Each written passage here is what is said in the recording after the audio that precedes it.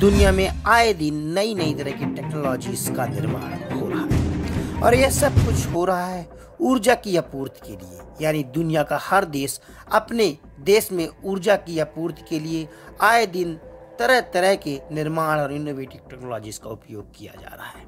पहले तो fossil fuel के ज़रिए समूची दुनिया ऊर्जा का निर्माण करती थी, लेकिन उसके बाद हाइड्रोइलेक्ट्रिक एनर्जी और न्यूक्लियर पावर से भी अब ऊर्जा का निर्माण हो रहा है। वही रिन्यूएबल एनर्जी की अगर बात करें तो सोलर सेल और विंड एनर्जी का भी उपयोग किया जा रहा है। लेकिन हाल के वैज्ञानिक शोधों ने समूची दुनिया भर का ध्यान आकर्षित किया है।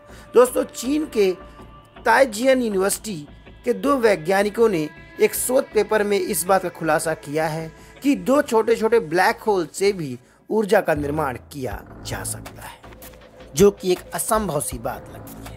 ब्लैक होल के बारे में कहा जाता है कि यह बहुत ही विशाल पिंड होते हैं, जिनसे बचना लगभग नामुमकिन सा होता है।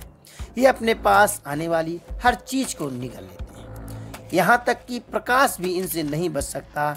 वैसे तो वैज्ञानिक इसके बारे में अप्रत्यक्ष तरीकों से काफ़ी कुछ जान चुके हैं। ब्लैक होल की संरचना और ब्लैक होल के बारे में। इसमें महान वैज्ञानिक स्टीफन हॉकिस ने भी ब्लैक होल को लेकर काफ़ी रिसर्च और इनोवेटिव बातें कही थी। इसके साथ ही अल्बर्ट आइंस्टाइन ने भी ब्लैक होल्स के बारे में कुछ रिसर्च किया था। लेकिन हाल के चीनी शोध ने इस बात का खुलासा किया है कि ब्लैक होल से ऊर्जा को भी जनरेट किया जा सकता है। तो आज के इस एपिसोड में हम इसी रिसर्च पेपर में हुए शोध के बारे में बात करेंगे कि आखिर ब्लैक होल से एनर्जी का निर्माण कैसे किया जा सकता है। दोस्तों, आप देख रहे हैं एनवल न्यूज़ कृपया हमारे चैनल को सब्सक्राइब, ज्वाइन और शेयर ज़रूर करें। छोटे ब्लैक होल से एनर्जी पैदा की जा सकती है, जिसे परमाणु संयंत्र की तरह इस्तेमाल किया जाता है। ऐसा कहना है, चीन के दो वैज्ञानिकों का। एक शोध में दो वैज्ञानिकों ने दावा किया है कि छोटे ब्लैक होल का उपयोग ऊर्जा हासिल करने के लिए किया जा सकता है।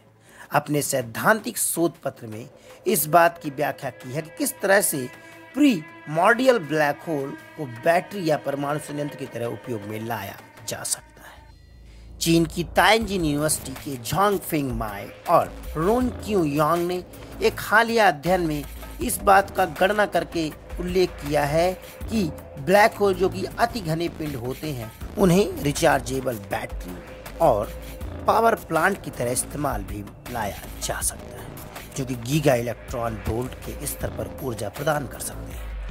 यहाँ पर गौर करने वाली बात यह है कि इसमें प्रक्रिया में ऊर्जा ब्लैक होल के अंदर से नहीं, बल्कि उसके ठीक बाहर से भी आ सकती है, जो कि ब्रह्मांड के गुरुत्व का सबसे अधिक मात्रा पाया जाता है। यानी ब्लैक होल के चारों तरफ़ अति घना क्षेत्र होता है। इसमें गुरुत्वाकर्षण का बल सबसे ज़्यादा होता है। और यही कारण है कि ब्लैक होल अपने अंदर प्रकाश को भी समाहित करने में सक्षम माना जाता है। हमारा ब्रह्मांड पहेलियों से भरा हुआ है। और इनमें से एक सबसे बड़ी पहेली है ब्लैक होल।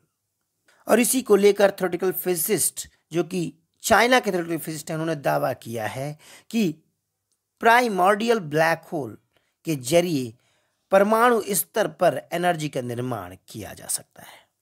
दोस्तों, आपको बता दें कि प्राइमोर्डियल ब्लैक होल्स प्लाज्मा से बने होते हैं, जो कि बिग बैंग के बाद ब्रह्मांड से भर गए थे। उनका अस्तित्व तो सिद्ध नहीं किया जा सकता, लेकिन ब्लैक होल को प्रमाणित किया जा सकता है। लेकिन बहुत सारी संभावनाएँ यह है कि चीनी वैज्ञानिकों ने इन महीन यानी छोटे ब्लैक होल्स को एक ऊर्जा के दृष्टिकोण से देखते हैं। इन वैज्ञानिकों का कहना है कि महीन ब्लैक होल, रासायनिक और परमाणु ऊर्जा दोनों को ही विद्युत में बदल करने की क्षमता रखते हैं।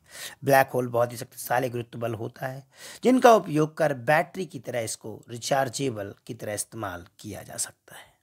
हालाँकि यह थ्योरेटिकल फिजिस्ट के लेवल पे ही संभव अभी तक हो पाया है। लेकिन इस रिसर्च से वैज्ञानिकों को एक क्लू ज़रूर मिला है कि ब्लैक होल को भी रिचार्जेबल बैटरी और न्यूक्लियर पावर प्लांट की तरह इस्तेमाल किया जा सकता है। ये थी बात इस रिसर्च की, जिसमें चीन के वैज्ञानिकों ने दावा किया है कि छोटे ब्लैक होल्स को रिचार्जेबल बैटरी की तरह इस्तेमाल में लाया जा सकता है। नमस्कार।